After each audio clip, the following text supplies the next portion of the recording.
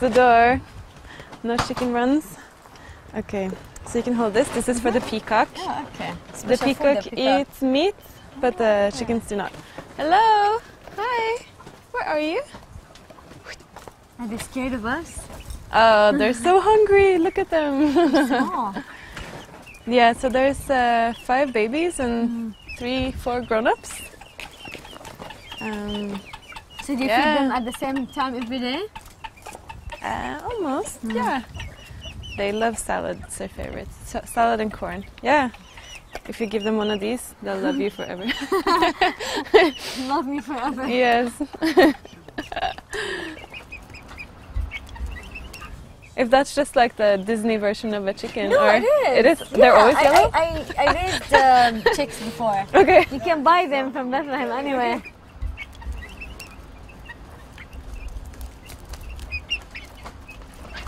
Here you go. No Wanna try?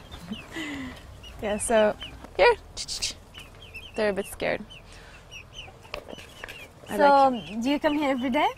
yeah, I come. We come every like we feed them once a day, Mm-hmm. and we feed them uh, uh, leftovers of the food that we eat. Mm-hmm. So yeah, so we don't have to feel bad when we Yeah. uh, leave food behind after dinner. So, So, yeah, it's very. is it your first time in Palestine and how long have you been volunteering here for?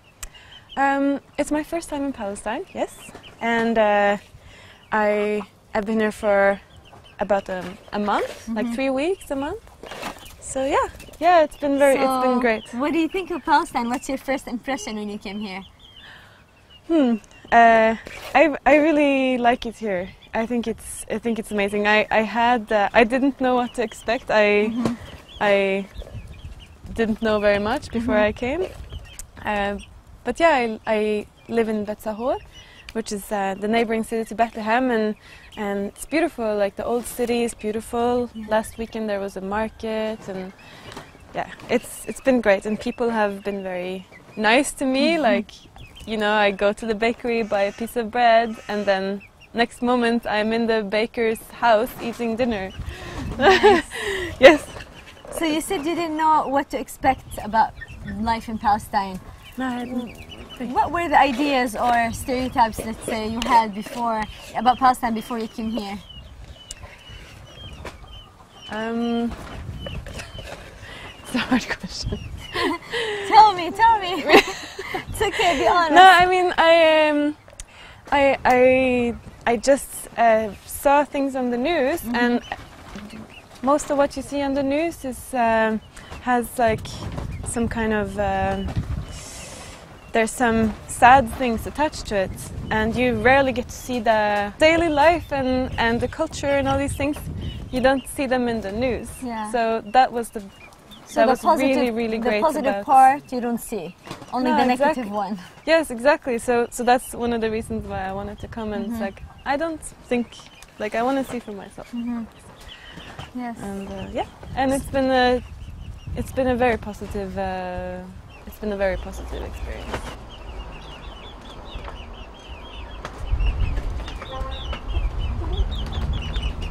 So, Sarah, out of all the places in the world, why did you choose Palestine? Um, it's a, it's a long story. Um, it's uh, yeah, it's a long story. Some some things were just coincidence. Like, you know, you meet some people and you talk to them, and and they tell. Like, I have some friends who uh, told me about Palestine, who had been here, and they were saying it was amazing here.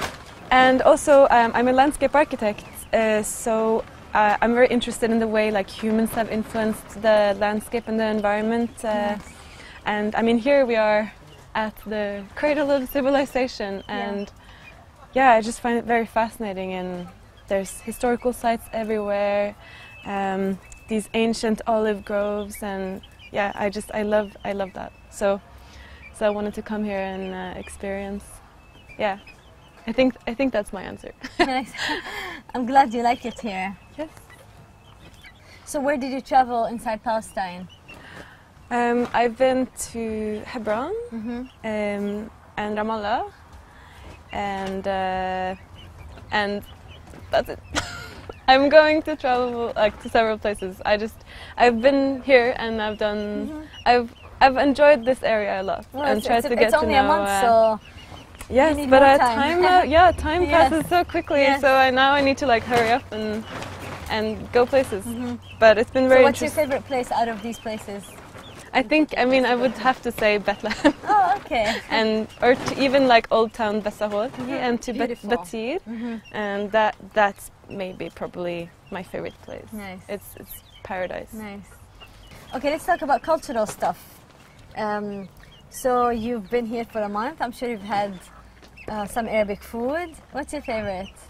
Oh, that's hard to pick. I think I had like more hummus and um, and eggplant dip than I've ever had in my whole life, and that's amazing. But um, I have to say, I, I love molokhia. I was a part of a molokhia harvest, and, Nice. and we made we harvested and made a soup, and that was very special and very nice. Um, and of course, the mahloube. Of course. like everybody loves the Yes. And in the beginning, I, I came here and I was like, where can I get good mahlouba? And everyone was, was like, you have to come to my mother. of course. so it took me a while to get to get it, but now I had it. and it's- nice. it's Can you great. make any? Mm, no, No. but I will. I will learn. I will learn. yes. Yes. Yes. Before I go out, I I will know how to make good mahlouba. I'm sure it's it's easy. Not Yeah. very difficult. But yeah, there's many things. Frike, like stuffed Mm. peppers. I love. I love everything. Tell us more about the museum and the work here. Um, the work you do, or in general in the museum. in the museum. Yeah. Yeah, so we have a lot of daily tasks. Mhm. You know, feeding the chicken, feeding. We have fish, Mhm. aquaponic system. It's very interesting. Uh, and we yes, wat- watering plants, all these things. Um, and we do different things. Like the volunteers do different things. I have been, I have been recently working on a, like on a stuff for the exhibition. There's an exhibition room, and I've been making a big uh, landscape model Mhm. uh, for the exhibition. Nice. Uh, so, so you can really choose what you want to do yourself. based Um, on your based on- skills or yeah, exactly. Yeah.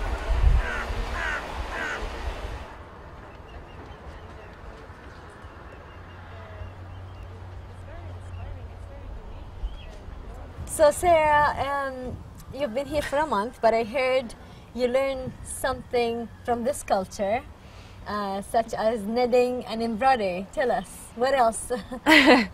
Yes, uh, I got very obsessed with uh, with the Palestinian embroidery. It's Mhm. very uh, beautiful, and and I just started doing it and found it very relaxing. So whenever I got a bit stressed or if I I was bored, I, I was I would do the embroidery. Um, and I also uh, I also learned a little bit of dabka. really? Yeah, from the Aida camp here in uh, Bethlehem. So that was Was it is. difficult to learn? Um, I used to dance, or I still dance uh, back home. So so it was okay, but but it's very it's it's hard. It's fast, Mhm. and yeah, it's a challenge. Nice. What else did you learn? Did you do you speak any Arabic? Um, no. yeah, I speak a little bit, but I should probably not say that on TV. Tell me the numbers. yeah, Vada no Vada Vaha Arba That's good. Tanem. For being here for a month is good. it should yeah I should yeah. I should learn more but uh, but yeah it's I know some things, and some things I learned here while picking olives, but yeah, I can't say mm -hmm. that mm-hmm. on TV yeah So tell me how how is this experience changing you and affecting you um, on the personal level? Well, I I spent the last uh, four or five years in um, in my hometown, and and one of the very profound things I understand about where I'm from is how how lucky I am that it's peaceful and this is a big thing, you know, to to really appreciate uh, where you're from and what I have from home.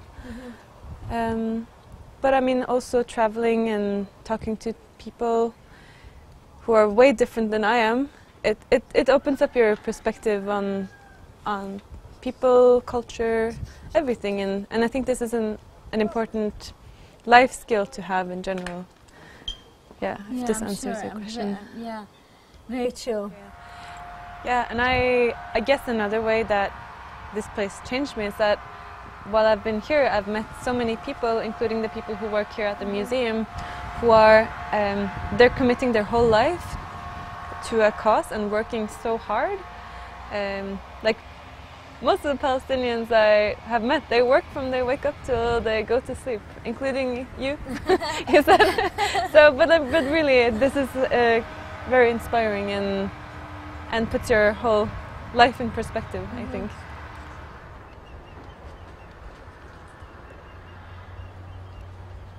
So, what message do you give uh, these foreigners uh, or advices about Palestine and, and coming to Palestine? Well, first of all, I would say that what you say is very true. Um, you, you do get this very stereotypical view of, Mhm. of this this country and this uh, region when you only look at the news. So the first thing would be don't just base your your views on on what you see on television and what you read in the paper.